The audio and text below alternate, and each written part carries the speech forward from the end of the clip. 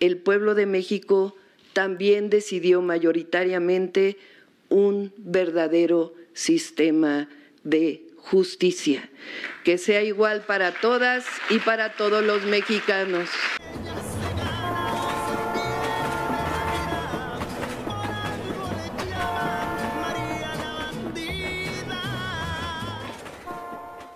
Nuestra presidenta electa, la doctora Claudia Sheinbaum, encara a Norma Piña, presidenta de la Suprema Corte de Justicia de la Nación de nuestro país, y le advierte que se despida de sus lujos exorbitantes, los de ella y los de todos sus compañeros, pues la reforma judicial ya es un hecho aquí en nuestro país. Así se vivieron las cosas en este fuerte momento. Te invito a que te quedes aquí conmigo porque esto está buenísimo y es que recordemos que hace algunas horas le fue entregada la constancia a nuestra presidenta, la primera constancia de presidenta electa en más de 200 años. Qué orgullo que sea una mujer que claramente nos va a saber representar muy bien. Y bueno, aquí están las imágenes cuando sabes que ya valiste, pues literalmente, ahora sí que la señora Norma Piña se tuvo que quedar con las ganas de que ganara. Ahora sí que la Xochitl, eso sabemos que no iba a suceder. Ella todavía prendía su veladora para que no le quitaran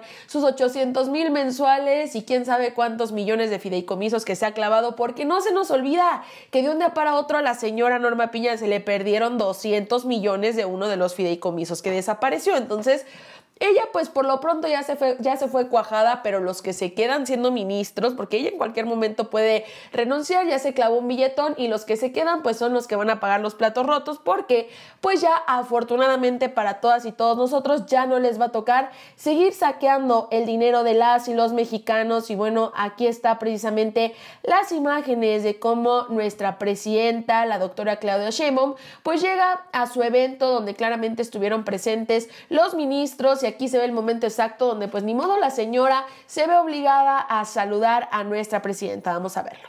Integramos el listado nominal de votantes. Y bueno, pues mira, ni más ni menos dos mujeres están encabezando esta sesión solemne en el momento justo en que ingresan a este salón de plenos la doctora Claudia Sheinbaum y la presidenta la, magistrada presidenta del Tribunal Electoral del Poder Judicial de la Federación. Pues nos vamos directamente a la transmisión.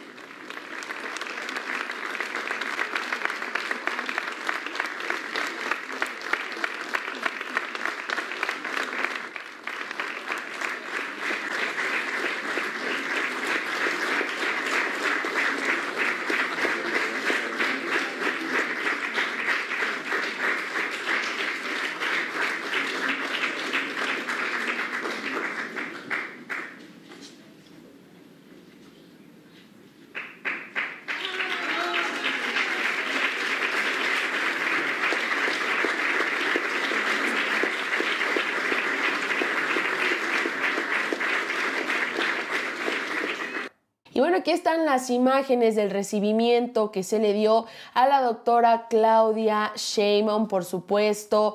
Ya saben, ¿no? Toda esta lista de invitados al evento, pues ha dado mucho de qué hablar y ahorita les voy a platicar porque aquí tenemos precisamente una parte del discurso que vale mucho la pena, ¿no? El darnos cuenta todo lo que dijo porque pues incluso, ¿no? Fíjense nada más que dirigió varias palabras a adversarios que incluso estaban ahí presentes porque no sabemos cómo lo hicieron, pero varios de la oposición consiguieron entrar y pues ahí ya pudimos ver en primera fila a Norma Piña. Vamos a escucharlo. Nuestros adversarios se molestan cuando hablo de Andrés Manuel López Obrador.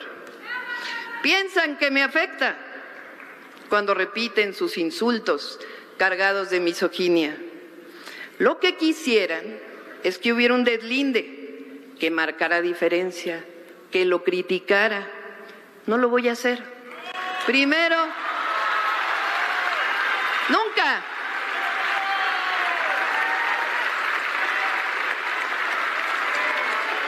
Primero, porque para mí ha sido, es y será un honor estar con Obrador.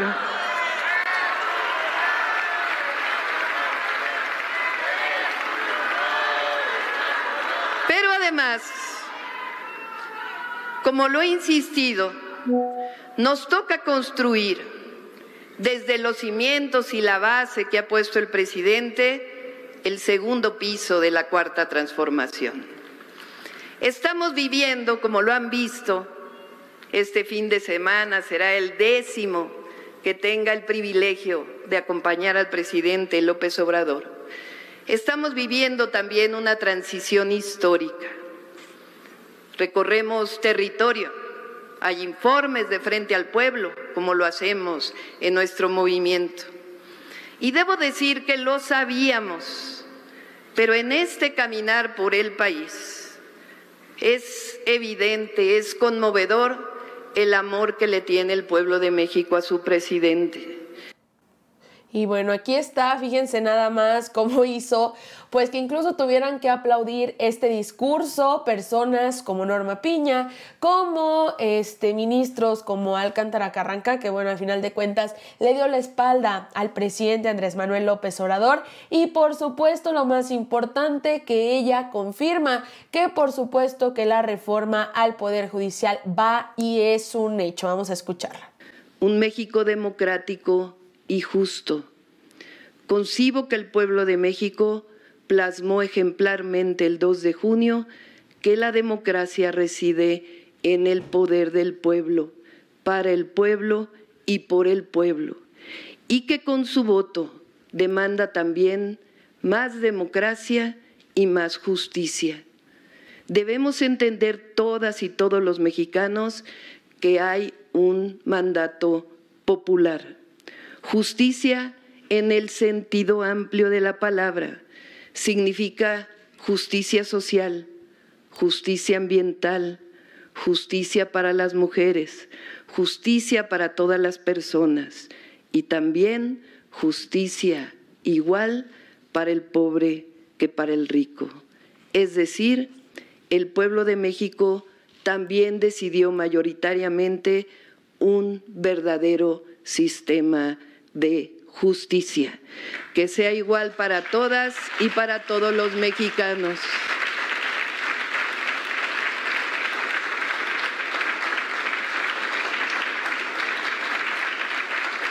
Un sistema que también comprenda la separación entre el poder económico y el poder de la justicia. Un Estado de derecho. Por ello, no debemos temer a la democracia. Decía Juárez, la democracia es el destino de la humanidad, la libertad su brazo indestructible. Y bueno, aquí está este, estas palabras que da la doctora Claudia Sheinbaum también mostrando aquí precisamente la constancia que la acredita como presidenta electa de México, por supuesto con su esposo, que también es importante, oigan, qué padre se siente ser mujer y tener a un hombre que te apoya a tu lado, un hombre que te impulse, que vea en ti ese potencial, que no siente envidia, que no se sienta menos, que al contrario te impulse y te acompañe. Yo creo que somos pocas las afortunadas que, gozamos de ese privilegio y también es un orgullo que tengamos por primera vez en la historia un primer caballero, porque eso nos abre la mente en el tema de, de masculinidades. ¿Qué tipo de masculinidades necesitamos en el país? Pues yo creo que precisamente esto, ¿no? A todos y a todas, voy saliendo del Tribunal del Poder, Tribunal Electoral del Poder Judicial de la Federación tengo aquí la constancia como presidenta electa de los Estados Unidos mexicanos, una decisión unánime del todo el Tribunal Electoral. Leímos un discurso que habla de seguir transformando a México con nuestros principios, nuestras causas, por un México con justicia, libertades, con bienestar para todas y todos los mexicanos y por supuesto primera mujer presidenta, en honor a todas las mujeres de México. Y ahora vamos al Teatro Metropolitan, ahí nos están esperando compañeros y compañeras electos, diputados, senadores y otros compañeros y compañeras. Aquí me acompañó mi familia, eh, por supuesto el gabinete con el que vamos a trabajar por el bien de México. y acá también ve el gabinete, familia, amigos, compañeras. Y recuerden, todas y todas, todos y todas invitados primero de octubre en la tarde al Zócalo de la Ciudad de México.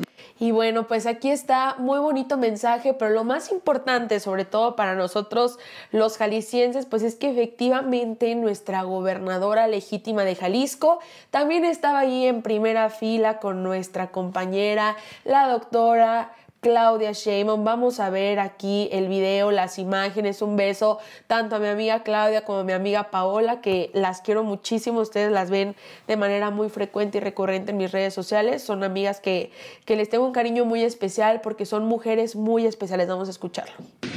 Hola, ¿cómo están? Buenos días. Vamos al evento de nuestra presidenta electa Claudia Sheinbaum Ahorita mismo le van a entregar su constancia, vamos en camino. Voy aquí con mi hija Paola. Les mando un abrazo. Hoy es un día para celebrar mucho porque tenemos una mujer honesta, decente, que va a gobernar nuestro país y la primer mujer presidenta de México. Les mando un abrazo. Muchas felicidades, jefa. Dios te bendice mucho. Estamos en contacto con todas y todos los jaliscienses.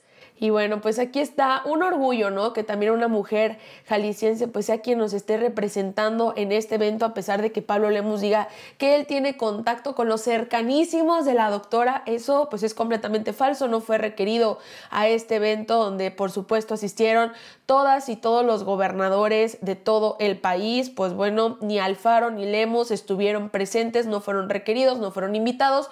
Uno por tramposo y el otro por metiche y tramposo también, pero pues así está el asunto en el panorama de la presidencia de la República. Queridos amigos, llegamos al final del video del día de hoy y yo te quiero invitar a ti a que me dejes aquí en los comentarios qué opinas de todo este eh, fuerte mensaje que envía la doctora Claudia Sheinbaum. Te invito a que me ayudes dejando tu like y compartiendo este video. Yo soy Pamela Ceballos, esto es La Bandida y nos vemos hasta la próxima.